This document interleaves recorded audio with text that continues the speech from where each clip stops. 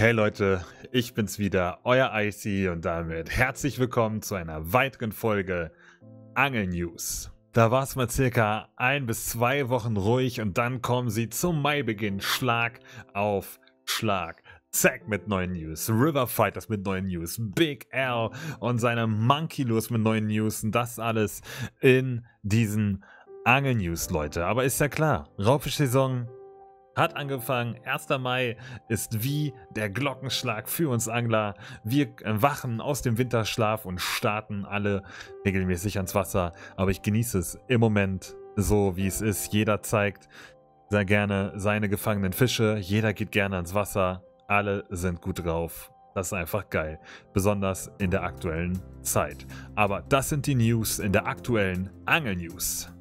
Zack mit neuen Neuigkeiten. River Fighters bringt Angelshop an den Start. Big L mit neuem Monkey Lures Kanal. Angler haben Sorgen in der Corona-Phase und keine News im Moment ohne verstorbenen Angler. Karpfenangler beim Angeln verstorben. Und falls auch du immer auf dem aktuellsten Stand der Angelszene sein willst und keine Folge Angel News mehr verpassen willst, dann lass jetzt ein Abo da und sei immer live dabei, wenn es heißt Angel News. Alles rund ums Angeln.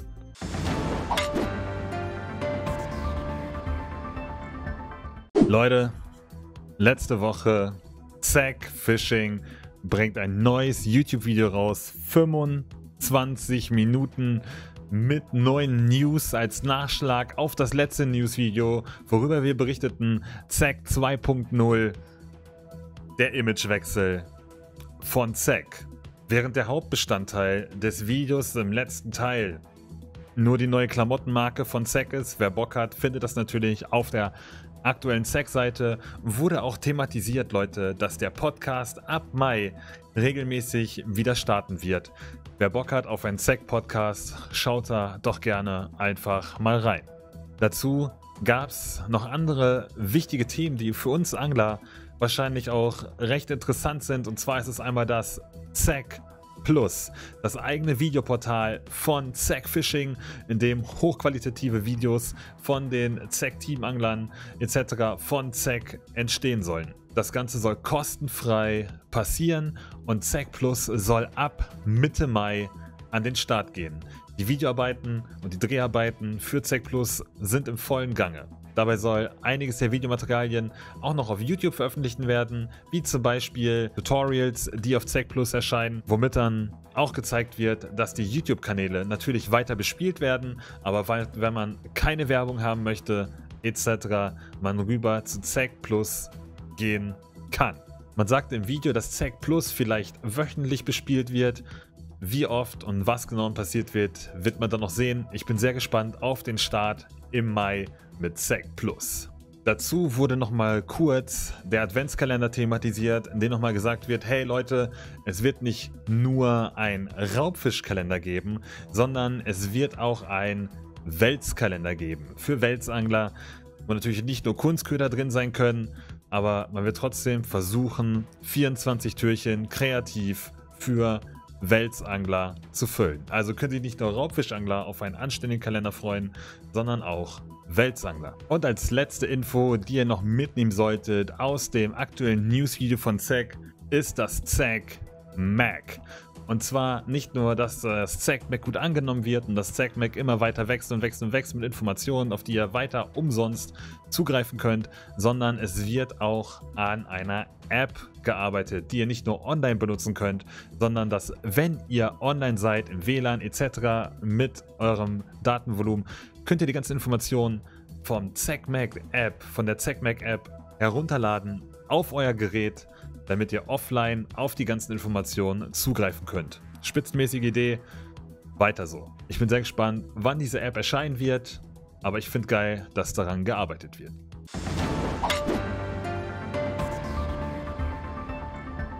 Nachdem ich letztes Mal schon über John Chowns berichtet habe mit seinem neuen Team River Fighters, welche die Weltherrschaft der Angelszene an sich reißen wollen, ist jetzt letzte Woche der River Fighters Shop an den Start gegangen. Dort könnt ihr wirklich allerlei Angelmaterial erwerben. Nicht nur in Sachen Raubfischbereich, sondern auch Routen, Angelständer, Zubehör, Kleidung, Boote. Schaut einfach mal rein, Leute. Es gibt so viel, was ihr dort entdecken könnt. Und damit haben wir einen neuen Shop am Angeluniversum, der mit den anderen großen Shops mitspielen möchte. Viel Erfolg dabei, River Fighters. Ich werde auf jeden Fall vorbeischauen und vielleicht das ein oder andere Angebot mitnehmen.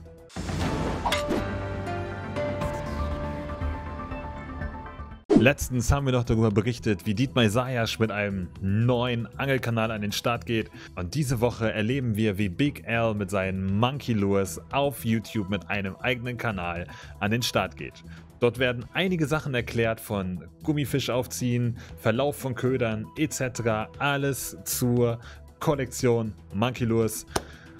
Könnt ihr also gespannt sein. Den YouTube-Link zum Kanal findet ihr natürlich unten in der Infobox. Einfach mal abonnieren, auschecken und schauen, was dort alles präsentiert wird. Sollte man auf jeden Fall im Auge behalten.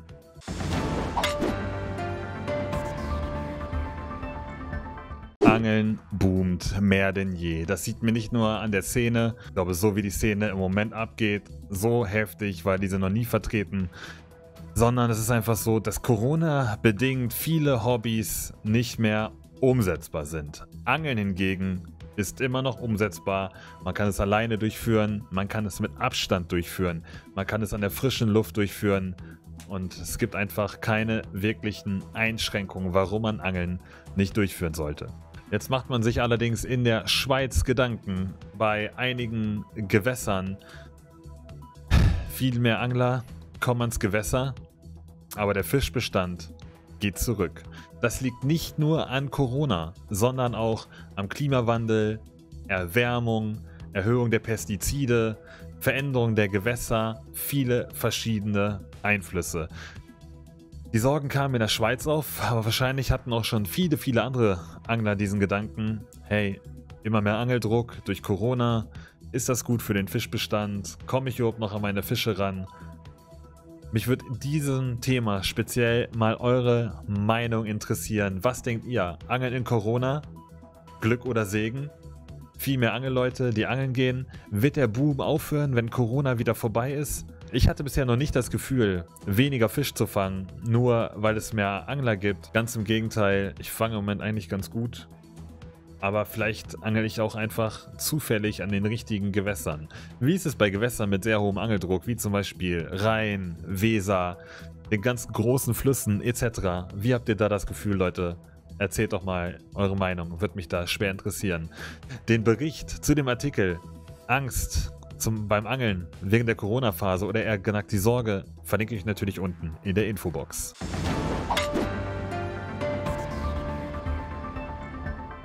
Bisher leider keine Angel-News ohne einen verstorbenen Angelkollegen. Und dieses Mal in der Region Spremberg, ein 21-jähriger Angler, der wahrscheinlich auf Karpfen angeln wollte, wurde im Wasser leblos geborgen. Das Fehlen des Mannes ist aufgefallen, nachdem er am nächsten Tag nicht zur Arbeit erschienen ist. Und man hat dann sofort die Suche gestartet, bis man ihn im Gewässer nach einer langen Suche gefunden hat.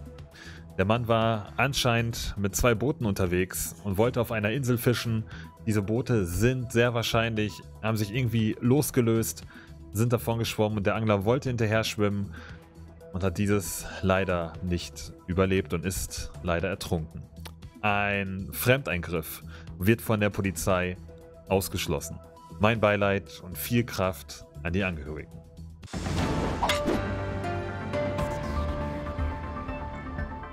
Und das waren die Angel-News für die letzte Woche. Es ist wieder viel passiert, Leute. Es ist wieder viel passiert. Es kam Schlag auf Schlag.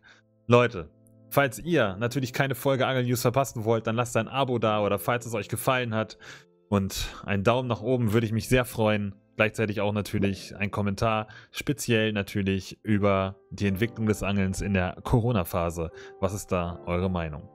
Falls ihr im Wasser seid, Leute, ein dickes, dickes Petri. Viel Erfolg beim Start der aktuellen Raubfischsaison. Passt auf euch auf, bleibt gesund und einen dicken Kuss an euch da draußen. Euer Icy.